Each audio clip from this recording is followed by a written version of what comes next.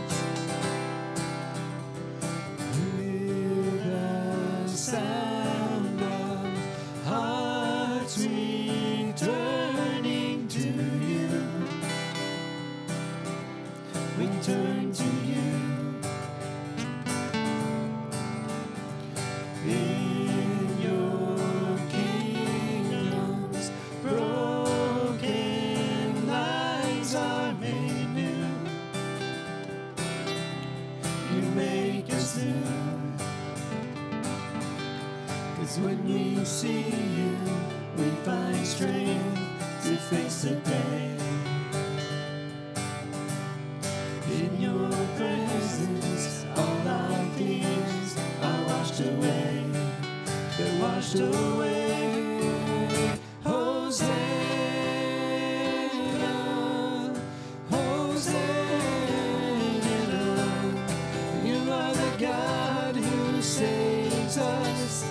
Worthy of all our praises. Hosanna, Hosanna. Come have your way among us. We welcome you here, Lord Jesus. Cause when we see you, we find strength to face the day.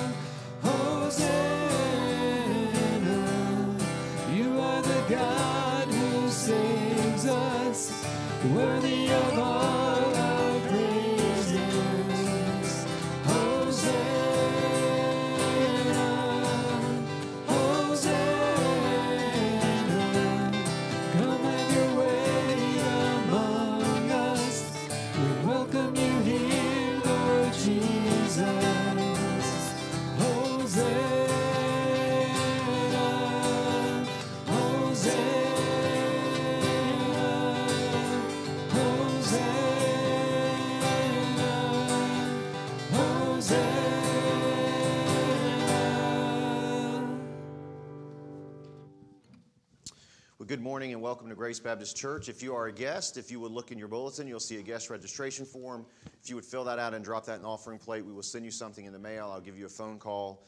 Uh, nobody's going to show up on your door uh, unexpected. That's also a good way for all of you to communicate with us. If there's ever a prayer request that you have or anything of that nature, updated personal information to keep in our database, you can fill one of those out uh, as well. A couple of reminders. Today, following the sermon, right after the sermon, actually leading in from the sermon, we will be uh, participating in the Lord's Supper. The elements are back here on the table. Uh, so if you have not gotten that yet during the beginning of the next song, if you just slip over there and grab that and a napkin uh, so you'd be prepared for the Lord's Supper uh, when that happens. And also, anytime we, or most of the time, we collect uh, a deacon's offering when we do the Lord's Supper. We'll be doing that today. Uh, but because we don't pass around the offering plate right now, the best way to do that is anything that you want to go to the deacon offering, make the check out to the church, write deacon offering on the memo. If you put cash in there, make sure it's labeled in some way deacon offering, either with a note or in an envelope of some kind that says deacon offering to make sure it gets to the to the right place. Let's go ahead and pray and then we'll continue singing. Father, thank you for the opportunity to be here today, the great privilege of worshiping the creator of all things seen and unseen. Thank you for the tremendous sacrifice of Jesus who paid our sin debt on the cross, uh, fulfilling all of the righteous requirements of the law on our behalf that we could not fulfill, and then paying that sin penalty that we would never want to pay for bearing the cup of your wrath on our behalf. Lord, help us to reflect on that today, to grow in thankfulness and gratitude for this great gift uh, that you have gifted us in grace. And we pray these things in Jesus' name. Amen.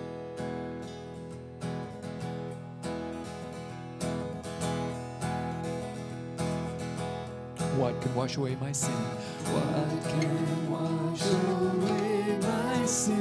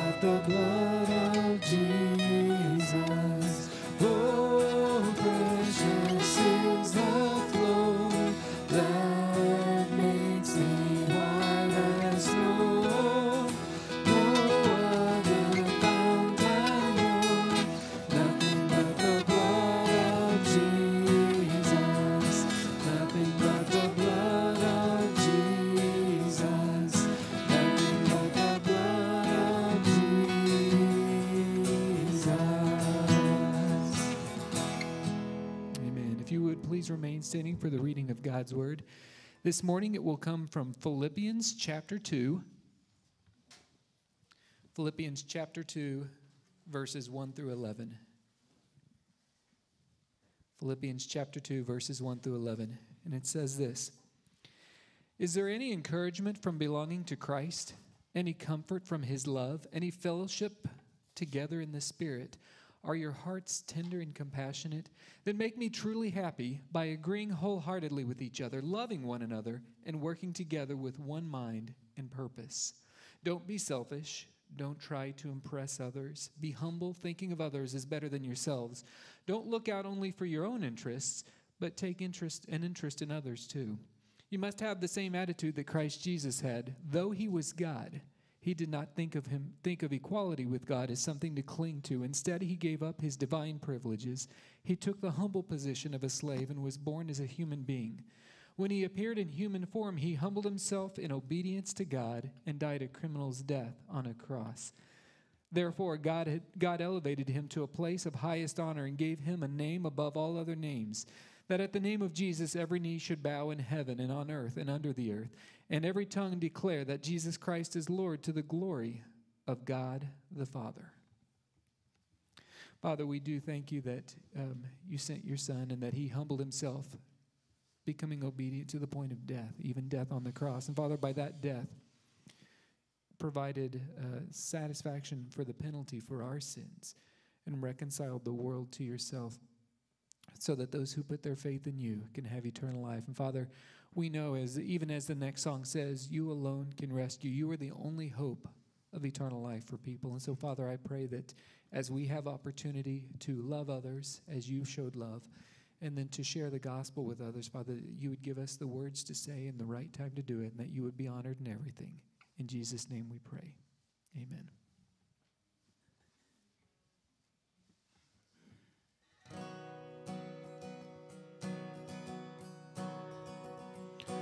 Who,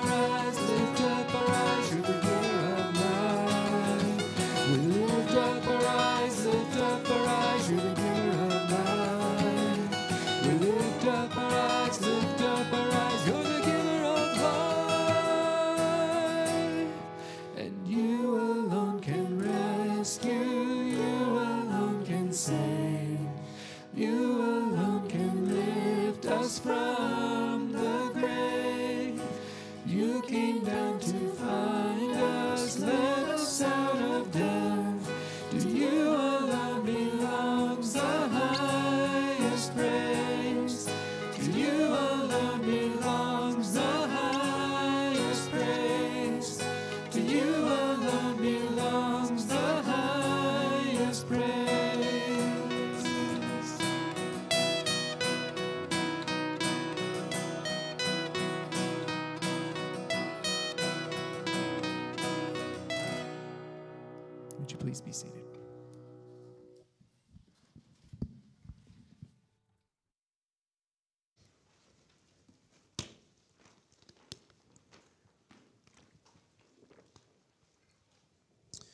you would turn to Micah chapter 7, we'll be finishing up the book of Micah this morning.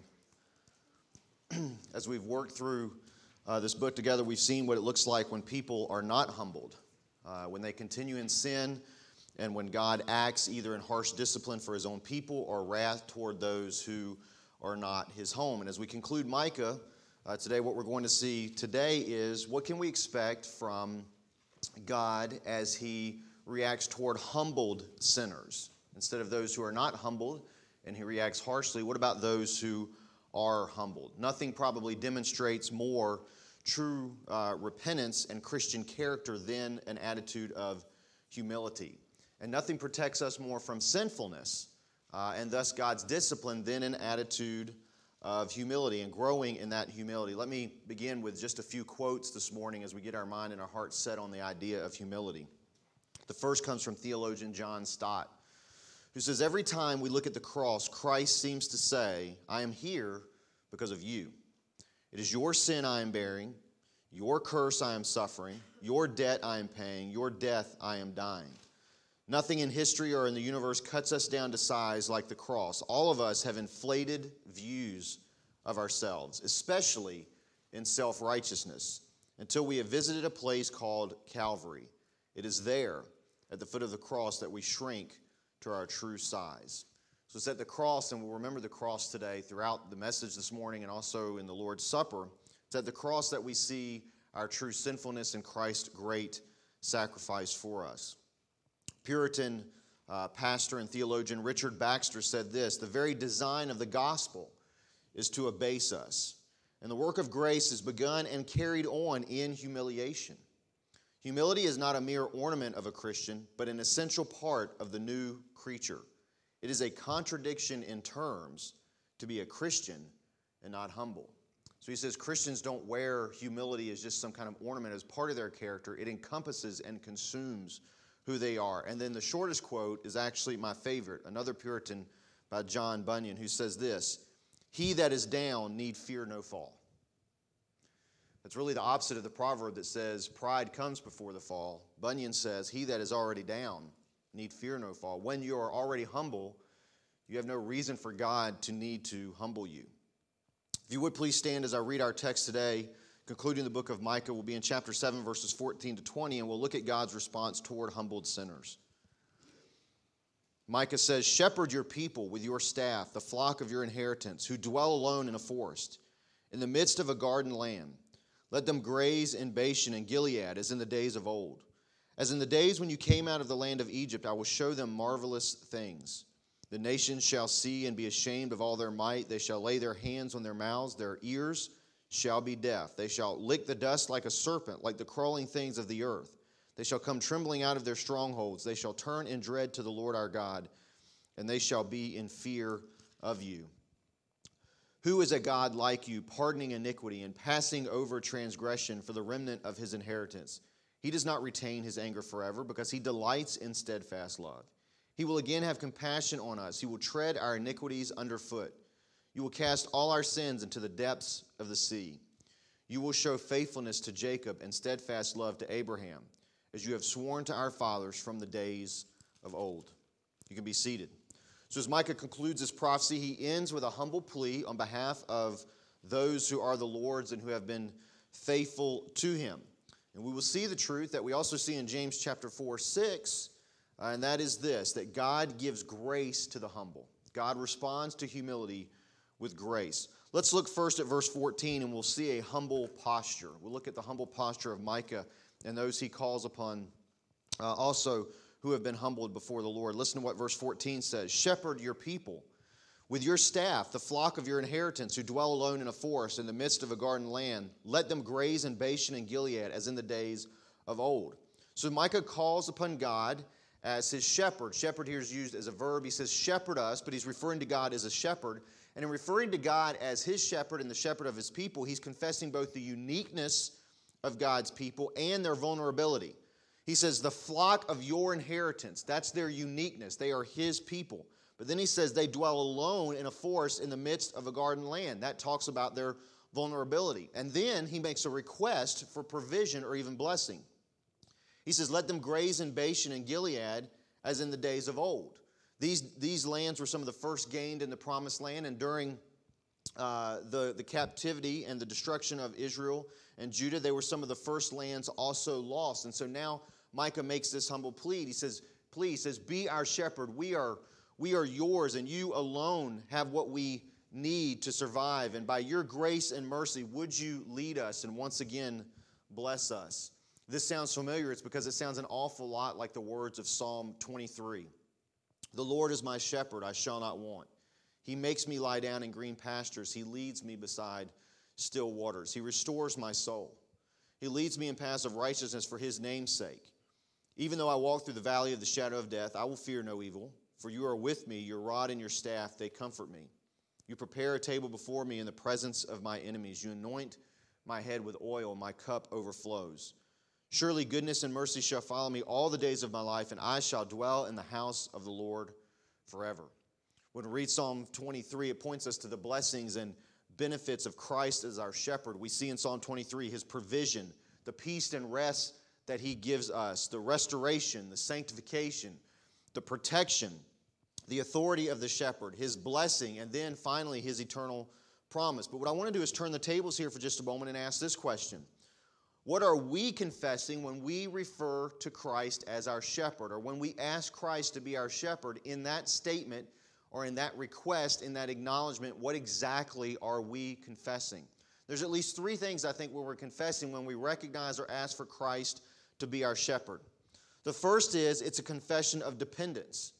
When you say, Be my shepherd, you are saying you need the shepherd. For Jesus to be your shepherd means that you understand you are a sheep and sheep are vulnerable and they're helpless and they have almost no protection other than the shepherd himself. Apart from staying very close to the shepherd, they'll almost surely die. They have no hope of survival.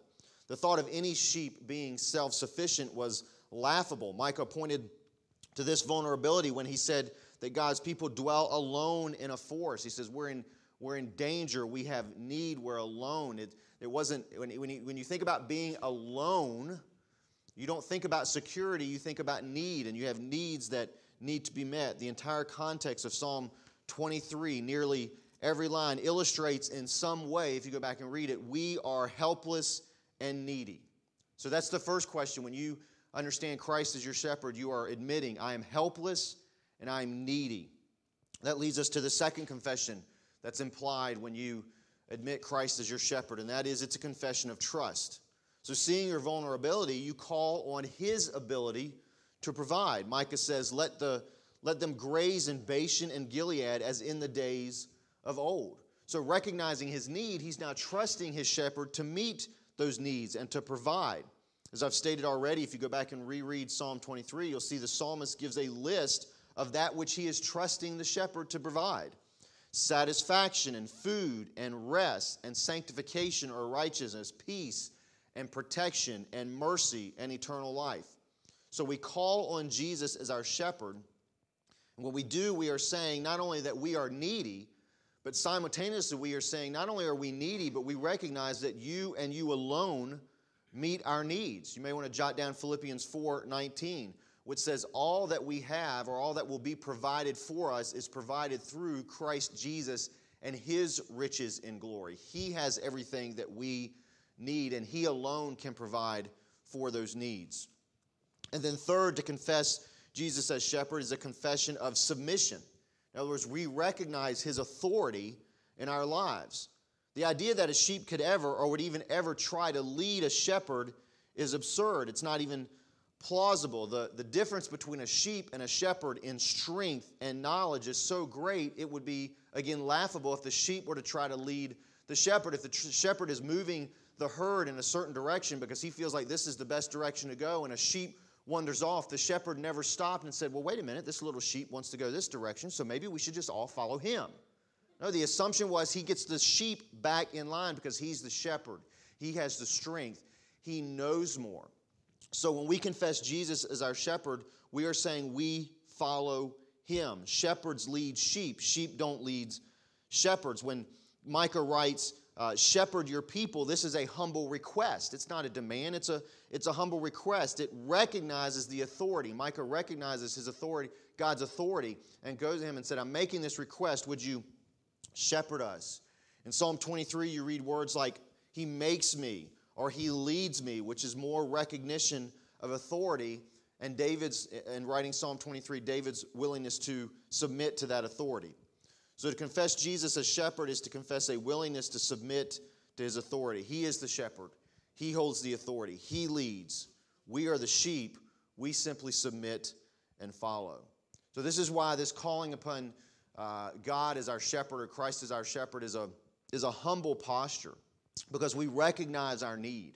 We recognize that He alone can provide our need, and then we submit to His authority. Well, how does God then respond to that type of posture? How does he do, to that type of humility?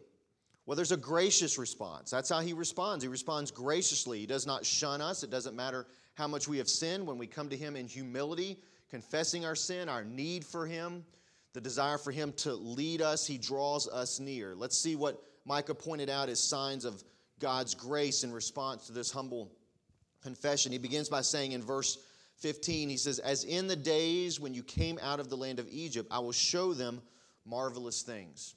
So let me show you at least two marvelous things that we see in response to this humble posture. The first is complete protection or complete deliverance from enemies. Verse 16 says, The nations shall see and be ashamed of all their might. They shall lay their hands on their mouths, their ears shall be deaf. Now, usually people are proud of all their might. That's why when you go to a gym or when you go to the beach, guys are walking around in shirts three sizes too small or with the leaves cut off because they're proud of their strength and they want to intimidate. And So they strut around like Johnny Bravo does on television. And if you don't know who Johnny Bravo is, shame on you. Google him and look him up and you'll see what I'm talking about. Don't do it now on your phones, but but they strut around because it's an idea of intimidating people. They want to show their strength. But here Micah says, A day will come when the nations will see and be ashamed of all their might. And they will lay hands on their mouths, and their ears shall be deaf. So they will see the glory of the Lord, these people who think they were strong, who, who believe they had all this power. And when they see and witness the resurrected Christ, they will be ashamed and they will realize they have no power in comparison to him reminds me of a movie uh, which is now 35 years old, so many of you may have not seen it 1986 film Crocodile Dundee. Now, if you're not familiar with it, if you are, you're going to remember this scene. It's one of the best scenes in the movie. If you're not familiar with it, let me explain it to you. So, Mick Dundee is basically an, an, an um, Australian woodsman. He lived in the outback, grew up in Australia out in the woods his entire life. And a reporter goes out there to kind of study his life, and then she, her name is Sue, brings him back to New York City to kind of tour uh, city life. And so they're coming out of a show one night or they're uh, of some kind of party, and a man walks up to them and, and basically wields a knife and says, and is going to rob him, says, Give me your wallet. Okay? And the girl says, Sue says, Mick, he's got a knife, give him your wallet. And Mick doesn't even blink. And he smiles and he says, That's not a knife. And then he pulls out his blade, which is about this long. He says, That's a knife. And he slices the guy's jacket up. And this guy who came in very confident that he was going to mug these people, all of a sudden runs off with his tail between his legs. Well, this is what happens when people come before the risen Christ and think they have all this strength. They think they have the power. And then they're confronted with the risen Christ and they'll run with their tail between their legs because they realize they have nothing in comparison to him. I'm asking you, what, how, do you, how do you intimidate a risen Christ? How do you intimidate one who has been crucified, buried, raised from the dead in a glorified body, never to die again? You can't do it. So those who think they have this might and power and authority will see the glory of the Lord and they will be ashamed. Isaiah 52 15 uh, which is very close to, to the scripture we just read in Micah, says that kings will shut their mouths because, because of them. Those who have been boasting will all of a sudden put their, their hands over their mouths. We have nothing to say. Their defeat and their understanding of their complete weakness before him will be obvious. Look at verse 17. It says, They shall lick the dust like a serpent. Like the crawling things of the earth, they shall come trembling out of their strongholds. They shall turn in dread to the Lord our God and they shall be in fear of you. All this, of course, means complete deliverance from God's people. All of the enemies of God are defeated, and those who are under his care are eternally under the care of the sovereign, almighty Christ. There's no longer a reason to fear enemies. Uh, they hold no authority or power over Christ. The, the enemies of God and his people are defeated once and for all. Now, looking back at verse 15, I want to show you why Micah brings up in verse 15, he says, as in the days of old when you came out of Egypt. Why does he reference Egypt here? Well, Egypt was the salvific event of the Old Testament. It was the event that constantly, when you read in the Old Testament, God would always go back to. It was the salvation event of the Old Testament, the redemptive act of the Old Testament. And it signified not just the deliverance of God's people from the land of Egypt, but also the complete defeat of their enemies, the Egyptians. Listen to Exodus 14, verses 26 to 29. The people are crossing the Red Sea, and it says, Then the Lord said to Moses, Stretch out your hand over the sea, that the waters may come back upon the Egyptians, upon their chariots, and upon their horsemen. So Moses stretched out his hand over the sea, and the sea returned to its normal course when the morning appeared. And as the Egyptians fled into it, the Lord threw the Egyptians into the midst of the sea. The waters returned and covered the chariots and the horsemen, all of the host of the Pharaoh that had followed them into the sea. Not one of them remained. But the people of Israel walked on dry ground through the sea, the waters being a wall to them on their right hand and to their left. So Micah describes the defeat of Israel's enemies that's to come in the future, and he looks back at Egypt and he says, I'm going to do in the future exactly what I did to Egypt. I'm going to deliver my people completely and totally, and I'm going to completely eradicate their enemies. They're strong enemies. It doesn't matter what their strength, doesn't matter the chariots or the horses or the number of people or the power they have. When I decide to act, I will fully deliver my people and I will destroy their enemies. The final defeat of the wicked and the evil that we know are described in Revelation chapter 20, verses 17, or I'm sorry, 7 through 15, and also Revelation chapter 21, verse 8. It says, And when the thousand years are ended, Satan will be released from his prison and will come out to deceive the nations that are at the four corners of the earth, Gog and Magog, to gather them for battle. Their number is like the sand of the sea. And they marched up over the broad plain of the earth and surrounded the camp of the saints and the beloved city. So here's God's surrounded, Satan and his enemies. But fire came down from heaven and consumed them. And the devil who had deceived them was thrown into the lake of fire and sulfur, where the beast and the false prophets were. And they will be tormented day and night forever and ever. And then I saw a great, a great white throne and him who was seated on it. From his presence, earth and sky fled away, and no place was found for them. And I saw the dead, great and small, standing before the throne, and the books were opened. And then another book was opened, which is the book of life, and the dead were judged by what was written in the books according to what they had done. And the sea gave up the dead who were in it. Death and Hades gave up the dead who were in them, and they were judged, each one of them according to what they had done. Then death and Hades were thrown into the lake of fire. This is the second death, the lake of fire. And if anyone's name was not found written in the book of life, he was thrown into the lake of fire. As for the cowardly, the faithless, the detestable, for murderers, the sexually immoral, sorcerers, idolaters, and all liars, their portion will be in the lake that burns with fire and sulfur, which is the second death. So sinners who have humbled themselves before Christ will witness this final destruction. There will be an event where God's people and God's saints are surrounded by Satan and his enemies, and it looks impossible. It looks like an impossible scenario. But in an instant, God decides to act, completely delivering his people and destroying their enemies. So God responds to humbled sinners by graciously granting them complete deliverance, also by graciously granting them complete forgiveness of sin. Look at verses 18 through 20. Who is a God like you, pardoning iniquity and passing over transgression for the remnant of his inheritance? He does not retain his anger forever because he delights in steadfast love. He will again have compassion on us. He will tread our iniquities underfoot. You will cast all our sins into the depths of the sea. You will show faithfulness to Jacob and steadfast love to Abraham, as you have sworn to our fathers from the days of old. So, again, referring back to Exodus on the account of the Jews being delivered by Egyptian captivity, as we saw in verse 15, if you go back and read verse 18, it sounds a lot like the, the song of Moses following the crossing of the Red Sea. Look at verse 18 again. Micah says, Who is God like you, pardoning iniquity and passing over transgression for the remnant of his inheritance? He does not retain his anger forever because he delights in steadfast love. What kind of, Micah says, who, who is like this? What other God does this? Well, after the crossing of the Red Sea, Moses sings this song in Exodus chapter 15, 11, and listen to the words of the song he sang. He says, Who is like you, O Lord, among us? Who is like you, majestic in holiness, awesome in glorious deeds, doing wonders?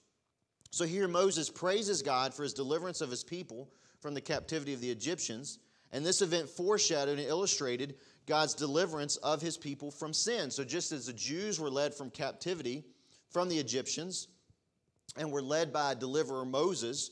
So we were captives to sin, and God delivers us and forgives us of that sin and leads us out of sinful captivity through Jesus Christ. And that's why Micah uses very similar language to Moses to describe this forgiveness of sin. What kind of God is this? What kind of God acts in this way?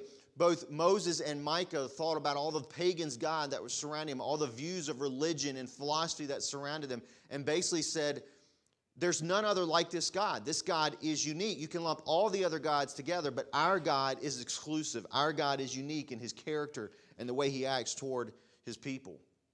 When an angel came to Joseph before the birth of Christ, the angel's announcement spoke of the purpose of Christ in both terms of deliverance and forgiveness. In Matthew chapter 1 verse 21, the angel told Joseph, "You shall call his name Jesus, because Jesus means God is salvation."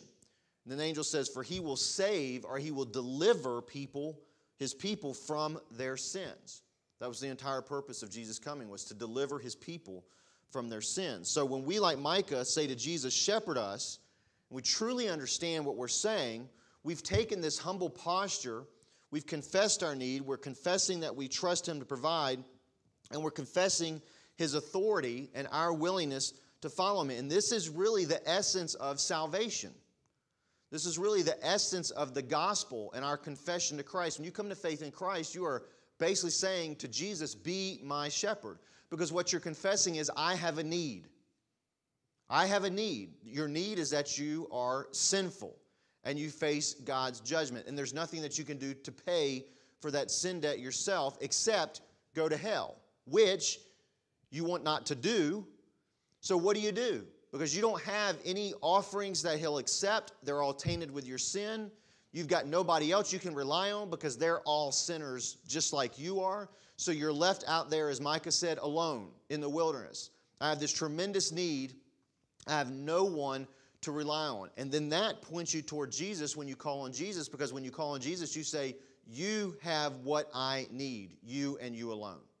You alone have lived the perfect life and fulfilled the perfect requirements of God, which I could not fulfill.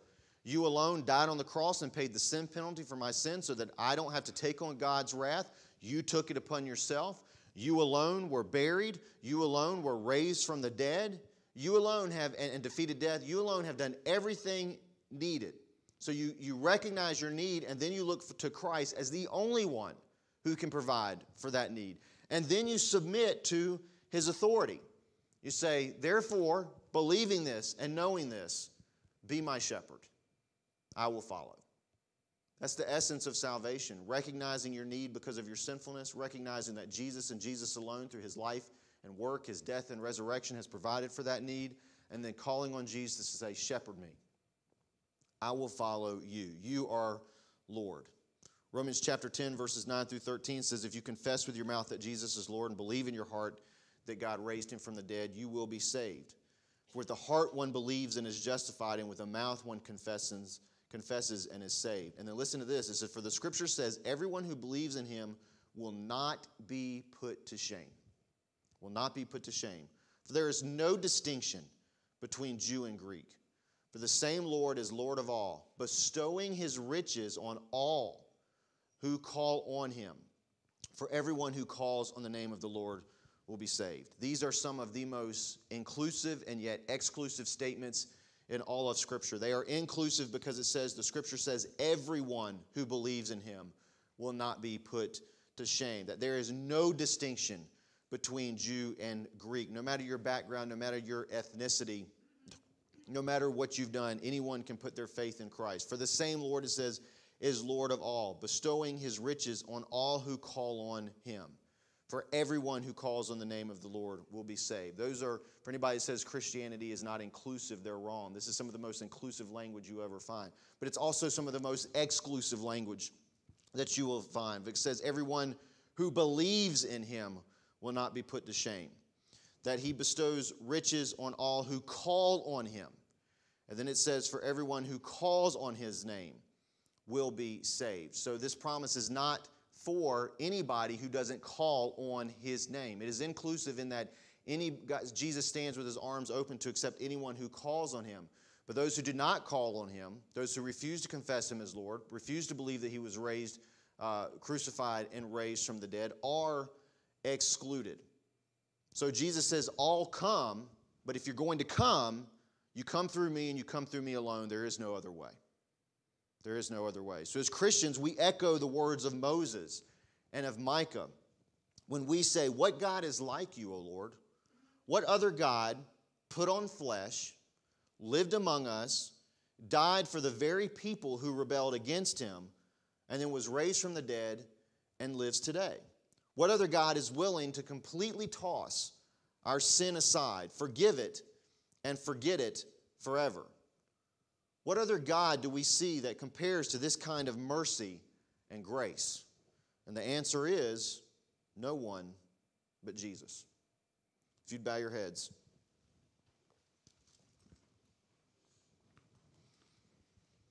We're about to now participate in the Lord's Supper. When you participate in the Lord's Supper, what you are confessing is Jesus is my shepherd. You are confessing that you have recognized your need, that you're a sinner, that you have come to a point where you have confessed Jesus and put your faith in him, believing he died on the cross for your sins and was raised from the dead. And you have recognized that you are the sheep and, you, and he is the shepherd, and you will follow him. You have recognized his lordship. You have submitted to that lordship. That's what that confession is when you take part in the Lord's Supper. If you're here today and you've never put your faith in Christ, you've never recognized Jesus as your shepherd, you should not take part in the Lord's Supper because you're confessing a lie if you do. That's a personal confession. It's, it's saying to everyone around you, Jesus is my shepherd. And if Jesus is not your shepherd, if you have not put your faith in him, recognized him and him alone as the only one who can save, you should not take the Lord's Supper. Instead, what you should do is you should look around at those who are taking it and ask yourself, why would I not make Jesus my shepherd? Why would I not join these who have trusted in Christ? And why would I not trust in Jesus also? What is stopping me from doing that? Is it some sin you're not willing to let go of? Is it pride? Is it arrogance? What is it? For those of us who have put our faith in Christ, the two questions we must ask first of all is Is there any unconfessed sin in our life. Jesus is our shepherd. We follow him. When we're in rebellion, we're not following him. We're the wandering sheep. And if you're wandering and you're happy with your wandering and you haven't turned from your wandering, even though the shepherd is calling you back, you should not take part in the Lord's Supper. Another question we ask is Have we anything in our life that has damaged relationships? Is there any reconciliation issues? The gospel is a gospel of reconciliation. Christ has died to reconcile us to his Father.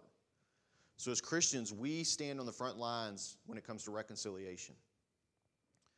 You cannot help how a person responds to you if the, if the relationship has been broken. But you have to be able to say, I've done everything that I know of that I could possibly do to try and seek reconciliation. And that goes beyond just praying. That goes beyond have you had a sit down conversation with the person to talk about the damage in your relationship to see if it can be reconciled? Have you approached them? Have you contacted them? Have you sought them out? Because Christ sought us out for reconciliation. We were the ones in rebellion, and yet He's the one that sought us. So we as Christians have that obligation. Even if we are the ones who have been offended, we have that obligation because Christ was the one who was offended. And yet he sought us out. So we have no excuse as Christians to not seek reconciliation with another person, even if we were the ones who were wronged. Because Christ is the one who was wronged, and yet he seeks and has sought us out. So you have to be able to say you have done that. And if you have not, you should not take part in the Lord's Supper as well.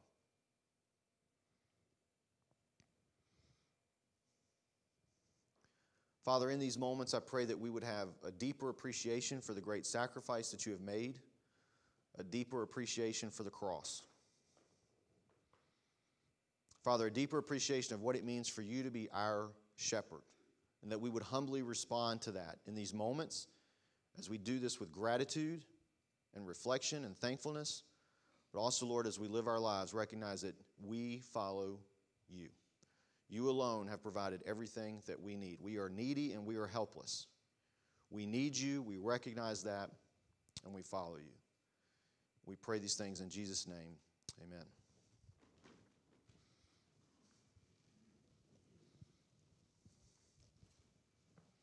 If you'd open up the top.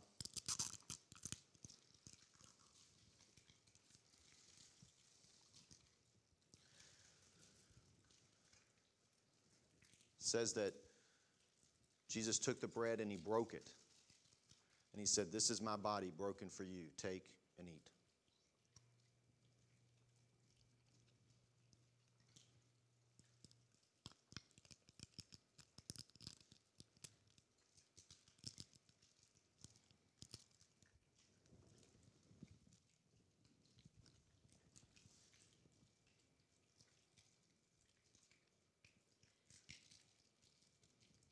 If you would open the cup, it said Jesus took the cup and he said, This is the blood of the new covenant. Take and drink.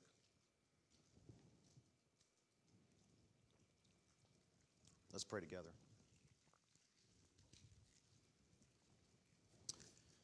Father, what God is like you truly. Who compares of all that the world offers us? What compares to a God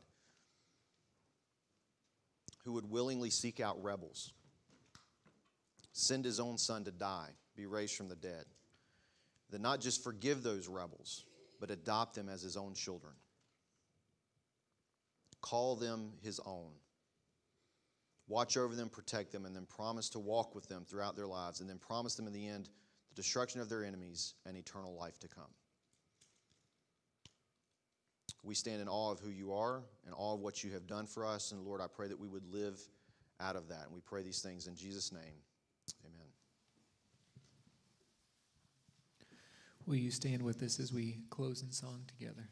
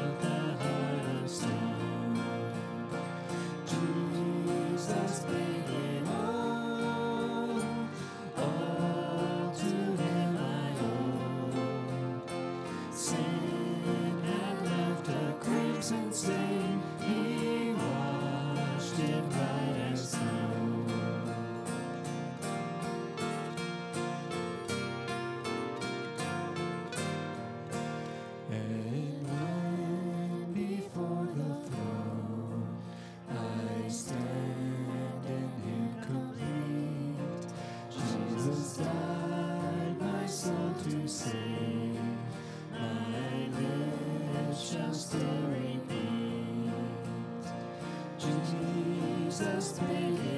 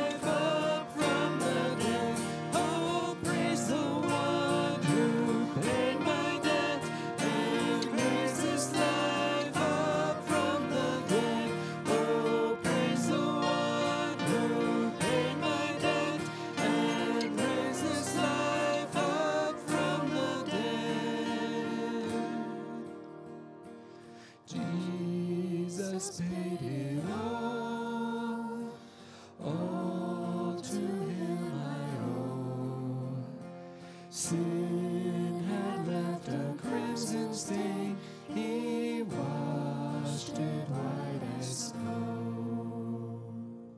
Would you please be seated?